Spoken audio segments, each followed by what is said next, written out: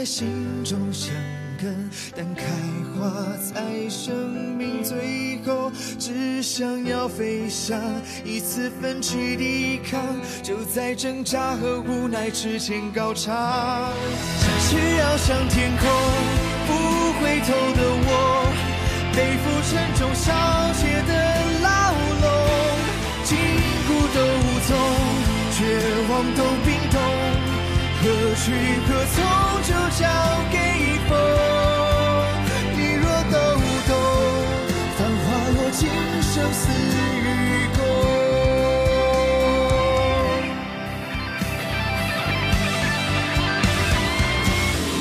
坚持要向天空，不回头的我，背负沉重小姐的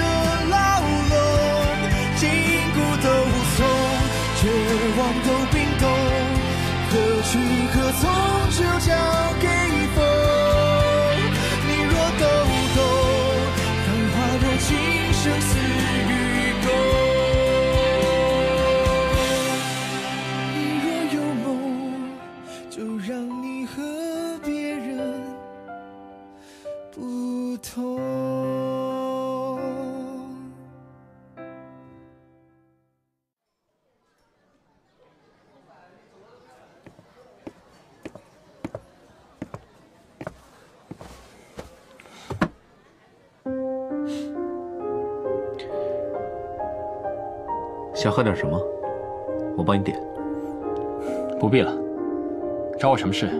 快说吧。今天请你来，就是想跟你好好的聊一聊。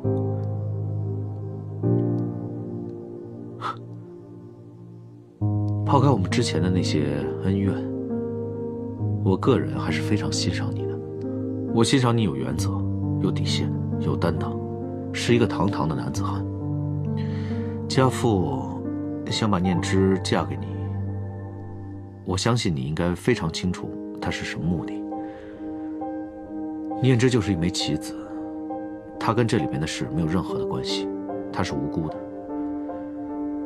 可是你现在的选择，将直接关系到他这一辈子的幸福，所以，我想请你高抬贵手，放过念之。哼 你好，请问冷先生订的座位在哪儿？在那边。谢谢啊。不客气。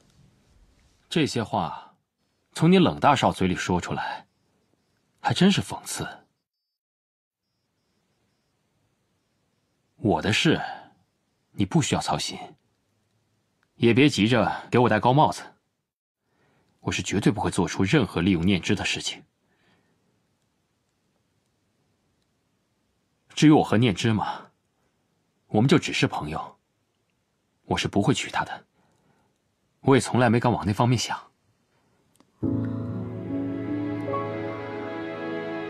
不过有件事情，我和你都一样，不希望她受伤。告辞。谢谢。念之。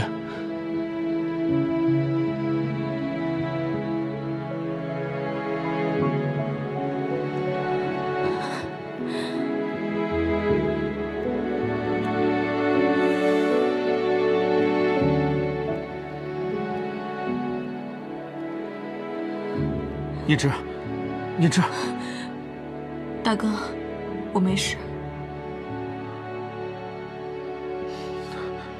那我跟着你。不必了。念之，你放开啊！念之，你没事吧？啊，我没事。我看看，我看看。你别碰我！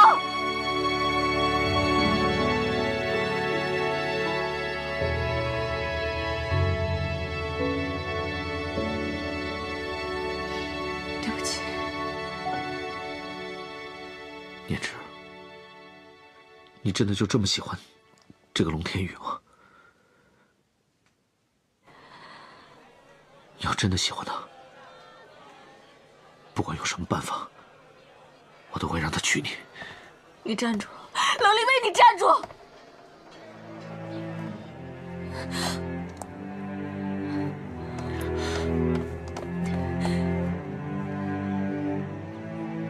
什么叫你不管用什么办法，都会让龙天宇娶我？你是打算拿枪指在他头上逼他，还是打算去求他？我怎么忽然觉得娶我冷面之是这么可笑、荒唐的一件事？念之，我不是这个意思，我只是不能看到你受到任何的委屈和轻视。你之前问过我，问我为什么一直要留在冷家，那就是因为你。你到现在还不明白吗？我爱你。从我到冷家的那天起，从你把热汤递到我手上的那一刻，你就已经住进了我的心里。我当时就跟自己发誓，只要我冷立威在这世上一天，我就不能让你受到任何委屈。不能看到你的笑脸。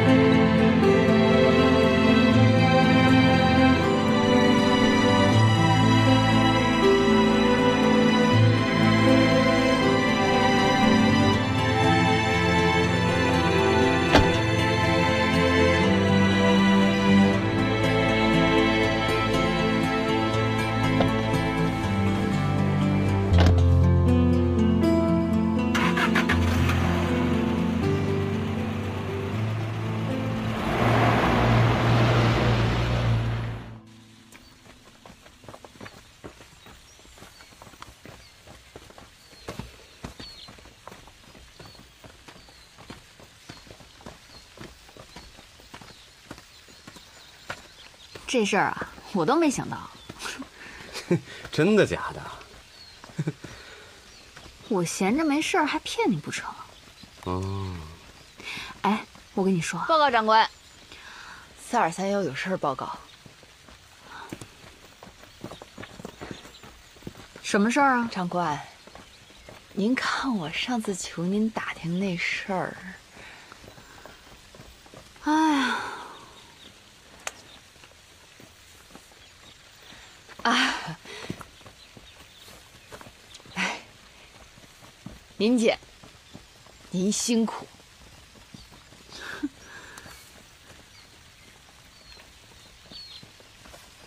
哎 呀，给你打听那些事儿没累死老娘。听好了啊，你儿子已经不在上姑了。他，啊，听说好像是被卖了吧？他怎怎么会被卖了呢？长官，他被卖去哪儿了？我怎么知道？你又没付打听卖哪儿的钱。长官，走开！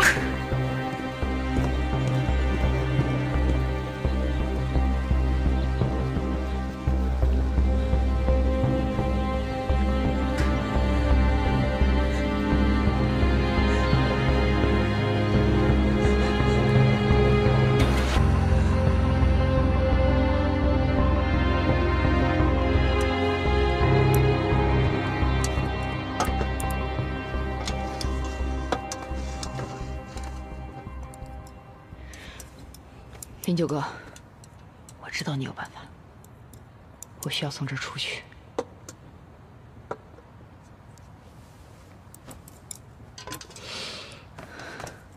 我没跟你开玩笑。你知道的，我青雕是做大事的人，这庙小，容不下我这尊。当然，你也是个人物，所以你应该也不甘心被困这一辈子吧？我自己都出不去，怎么带你出去？八九六三，你别忘了，要不是我保住你，杀人越狱的事早就被发现了。你是为了我吗？你是为了你自己，想让我带你出去。可是自从你们上次越狱失败之后，整个监狱都被典狱长加固了，现在密不透风的，跟一个牢笼一样，憋出两个大活人了，连只苍蝇都飞不出去。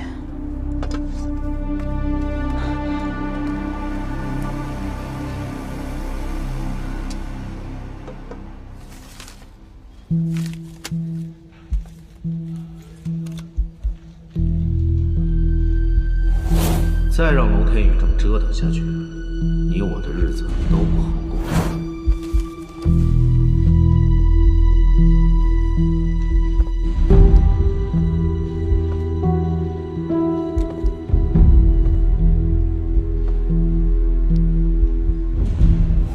根据验尸报告以及现场的状况推断，张三应该是在当晚下班之后饮酒过量，失足掉进河里淹死的。淹死的，就这么简单？就这么简单。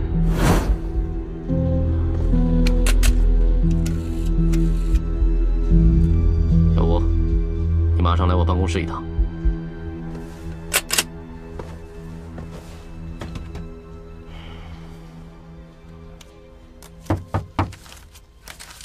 进来。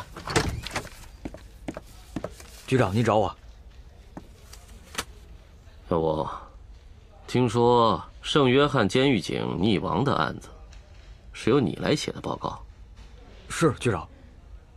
啊，这个案子，你不觉得结案太草率了吗？你就没发现什么问题？其实，这个案子吧，当初说话别吞吞吐吐的，实话实说。当时这么结案，的确有点草率。死者肩部、手部、腿部有明显的骨折痕迹，如果他是失足掉河里的，这些伤势怎么解释？第二，他回家并不需要经过那条护城河，那他当天去那儿干什么？第三，为什么掉河里一个月才浮上来？预警案的结案书你来写吧。我写？你写。可是关于这三个疑点，还没有办法解释啊。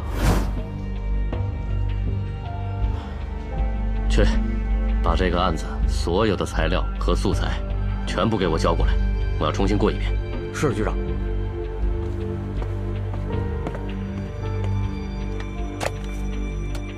这是所有资料。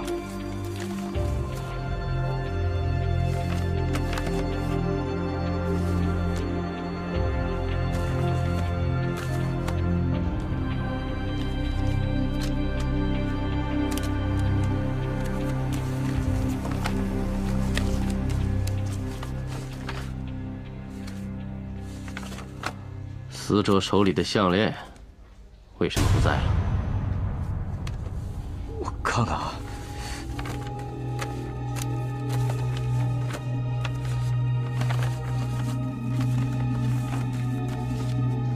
对啊，怎么没有了呢？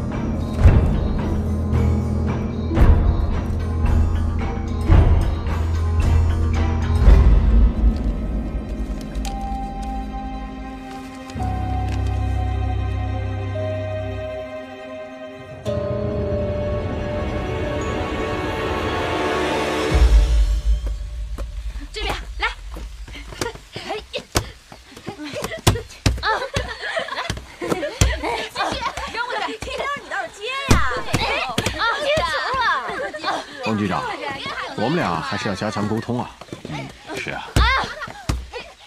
接仇啊！你就放心吧。住手！都给我住手！那不是警察局局长吗？他来干什么？他们是来调查张三的案子，听说又找到新的证据了。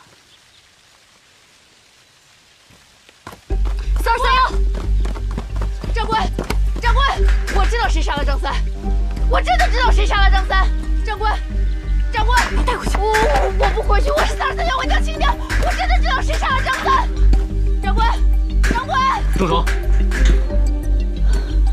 把你知道的都告诉我。人我都给你请出去了，这回你该说了吧？我知道一切的事情，因为杀死狱警和越狱就是前后脚的事情。我可以告诉你，这一切的始作俑者是林九哥。我可以给你细节、证据，但我有条件。你说出来，我听听。第一，我要减刑。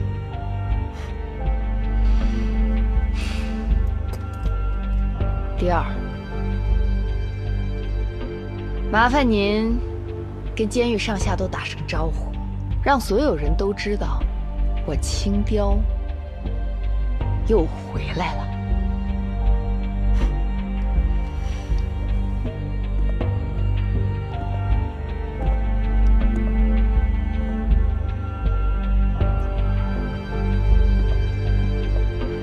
好，我答应你。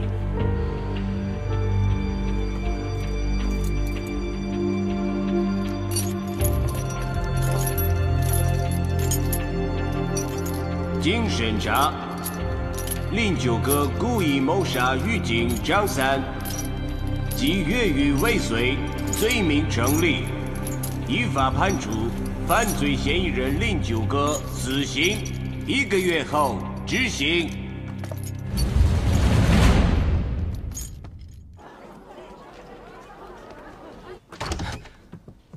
局长，这到底怎么回事啊？什么怎么回事？狱警一案，为什么林九哥突然就被判了死刑？哼，你在问这个案子？我正打算要问你，你为什么要私自扣留林九哥的项链？这个案件明明遗留很多的疑点，你为什么不上报？作为一个公职人员，你这些行为完全是渎职。如果我真的渎职，我愿意接受公开调查。可这和林九哥的死刑完全是两回事啊！林九哥的死刑是上级法院判决的结果，人证物证俱在。一条嫌疑人的项链，一份和嫌疑人有仇的证人的供词，没有公开审判，证据核实，一件涉及警务人员的命案，不到三天的时间，在没有直接的人证和物证的状况之下就被定了罪。而且还是死罪。这么说，你质疑法院的裁决？当然，起诉、调查、取证、公开审判、反复核实，这些程序缺一不可。死刑是所有刑罚中最严厉的惩罚，更该审慎小心，马虎不得。这可是人命啊！看来龙队长这次又要插手了，真是可惜，你恐怕没有这个机会了。你看看，还有外面那些示威的人，你都看到了，都已经闹到了警察局的门口。警察局如果不做妥当的处理，于情于理都是说不过去的。所以，上面一致认为，你暂时不适合留在这里。所以，你是要解我的职？是上面认为，还是你认为？作为一个警察，私自扣留关键证物，停止检查，也没有什么不妥之处啊。我说了，我可以接受停止调查，但冯局长您呢？身为上古警察局局长，暗中勾结黑恶势力，谋害林局长，销毁证据，包庇真凶，使得大量毒品流入上古城。捏造证据，干预司法，涉嫌谋杀。你不是一个警察，你是一名凶手。龙天宇，你有证据吗？你根本配不上你身上这身警服，还有你头上的警徽。你只是一个在乱世中图个安稳的人。从一开始，你就不应该选择警察这个行业。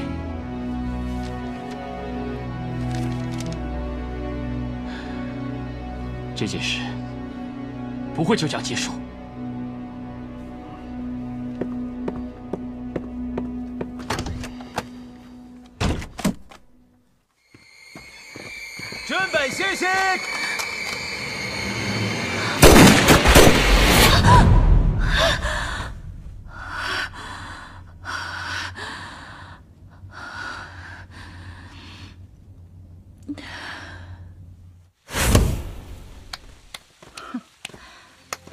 怎么，减了刑，你这瘸腿兔子鸡就得意了啊？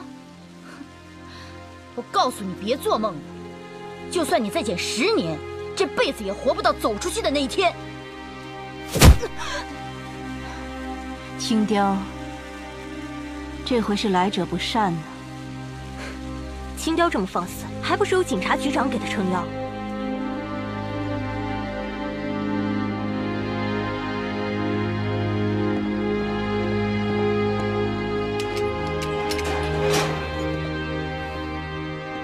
八九六三，上工了。我要离开这儿。无论你做什么决定，我都会支持你。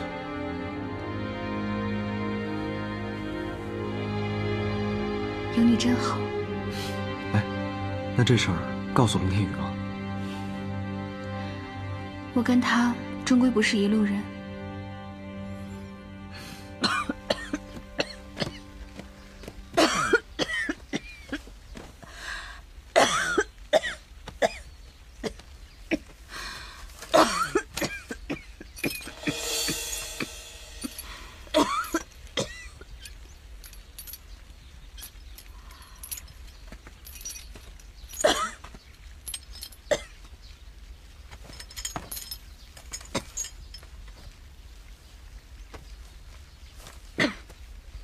玉前辈，请稍等，我有话跟您说。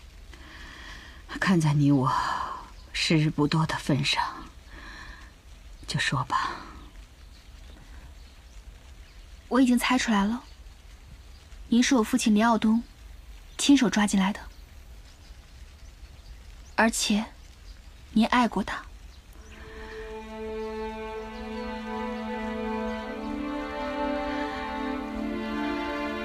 亲终身未娶，玉前辈最喜欢的那首曲子，父亲生前也最喜欢。你说的都是真的，他终身未娶。嗯。可是，你为什么要告诉我这些？因为我不想您留有遗憾。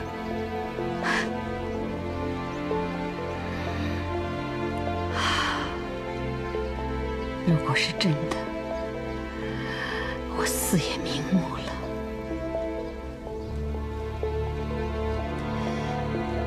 作为回报，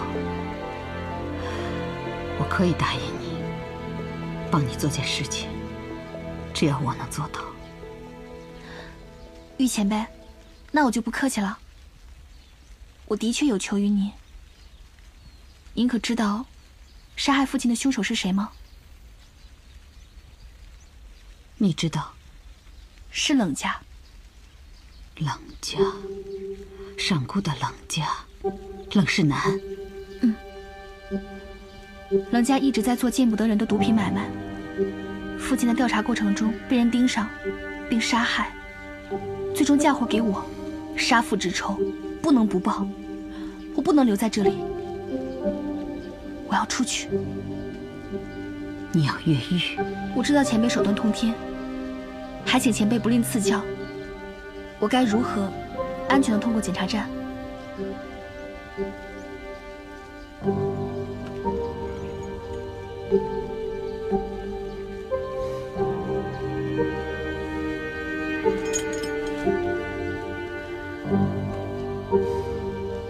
既然我答应要帮你，就一定会帮的。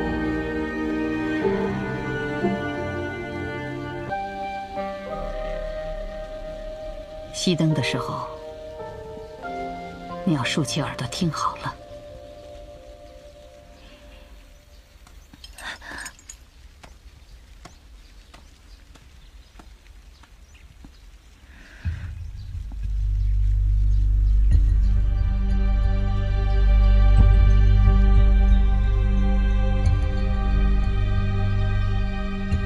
因为我想告诉你，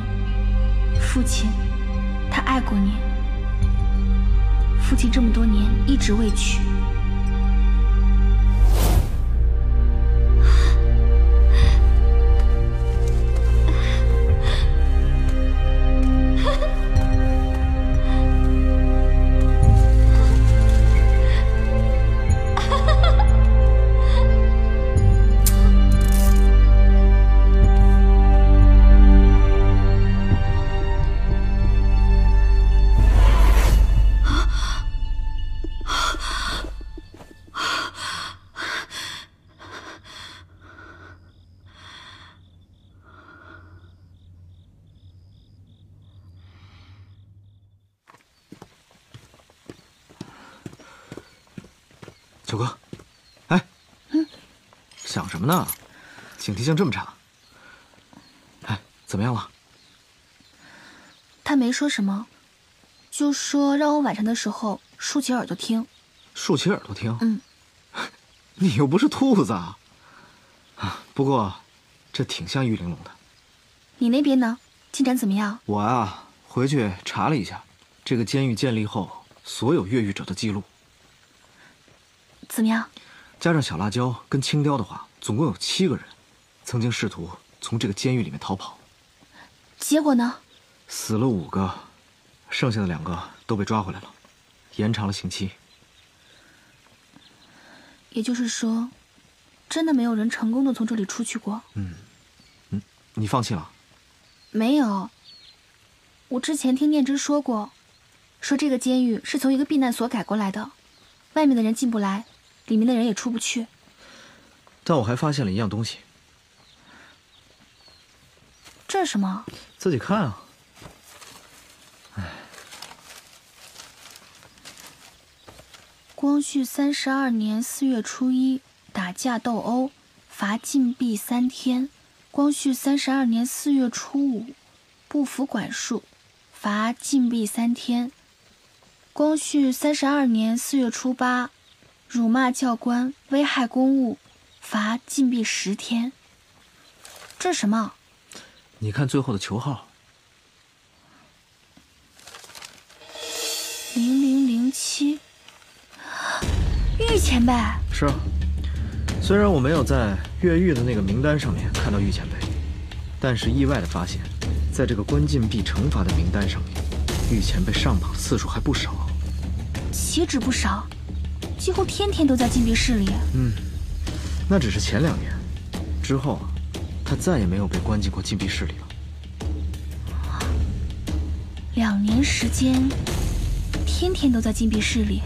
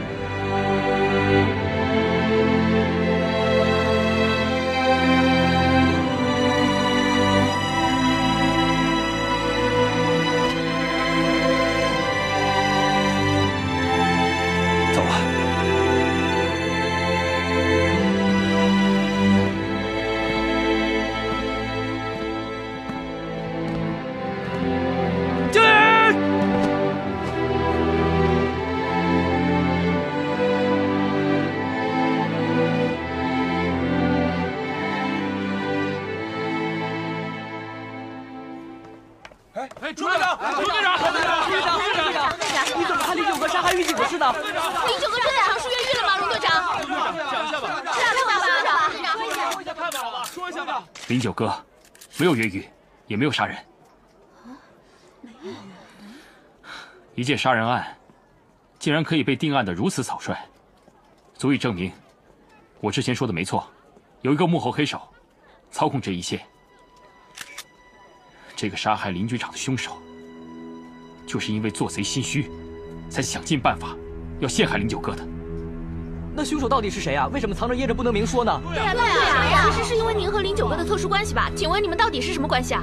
是恋人关系吗？什么关系？您是为了保护恋人，所以才回答一下。钟队长，请你回答一下吧。回答一下吧。快点，上车。刘队长。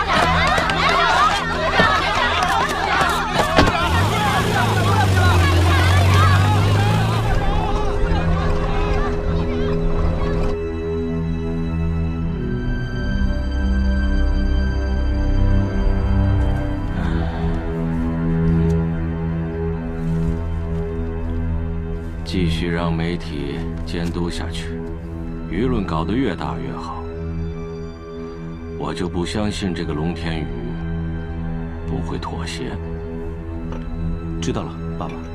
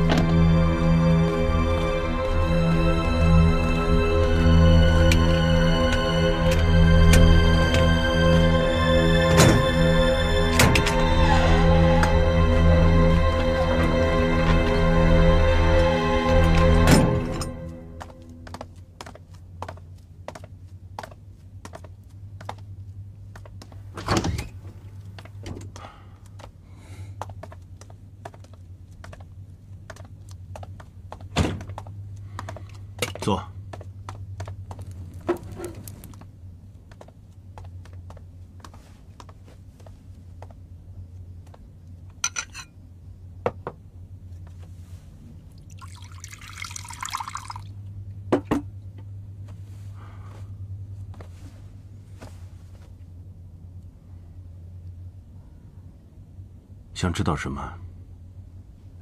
问吧。这到底是怎么回事？你知道多少？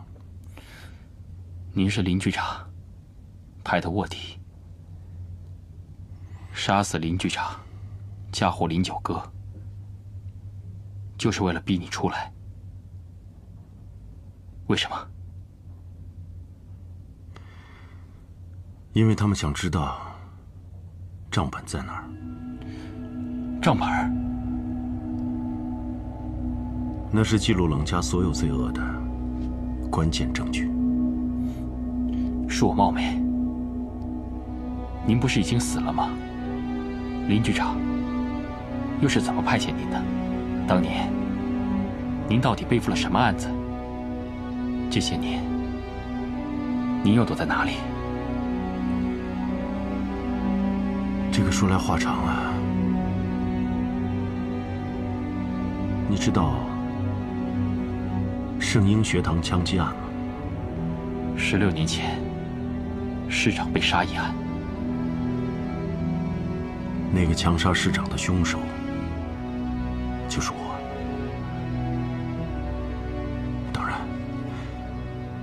我是被冤枉的。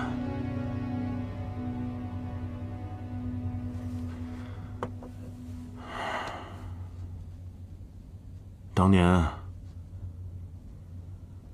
我背负着谋杀市长的罪名，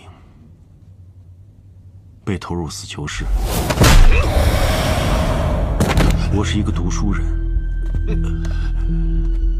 钻过去！钻过去！钻过去！钻过去！钻过去！钻过去！钻过去！钻过去！钻过去！快点！快点！钻！钻呀！钻！快钻！快钻！快点！钻过去！钻过去！钻过去！快点！钻呀！钻呀！钻呀！快点！快钻！监狱里的野蛮侮辱和对前途的无望，曾经让我生不如死。于是，我从生产车间偷来布条，拼在一起，上吊自杀了。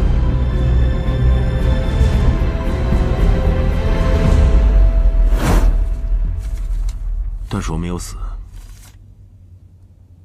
虽然当时所有的人都以为我死了，包括九哥，他也以为我死了，但实际上是，在南城粉巷的一个民宅里，我醒了过来。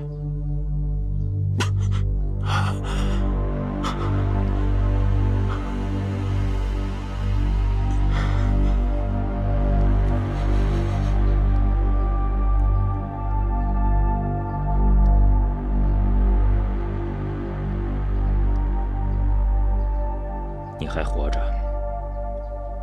我知道，是我把你抓进监狱的。这案子有冤情，只是现在仍然没有证据证明你无辜，所以眼下你面前有两条路：一是跳出来告诉大家你自杀未遂还活着，然后迅速重新死去；二，保持现在假死的状态，然后重生。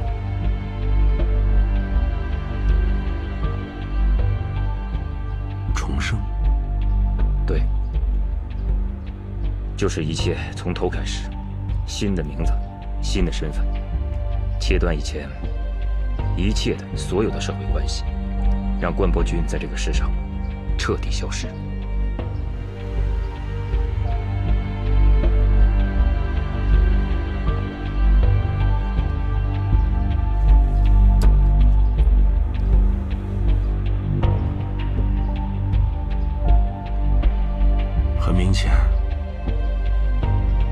是我别无选择。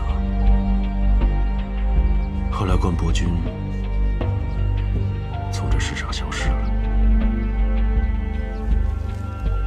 而作为补偿，林耀东答应收养九哥，并承诺将他抚养长大。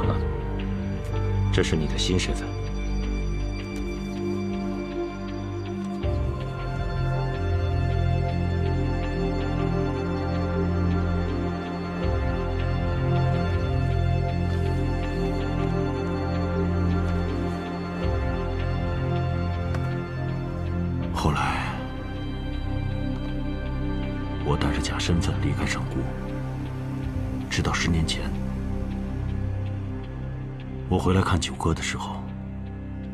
接到了潜入光明制碱厂的命令。六年的时间，很多的事情足以被淡忘，再加上关伯钧是已死之人，所以我的出现。并没有引起任何怀疑。我用会计的身份潜入冷家，利用十年的时间，取得了冷家的信任。后来我甚至一度被调去为冷家的毒品生意做账，并且在不久前。我拿到了证明冷家贩毒的关键证据——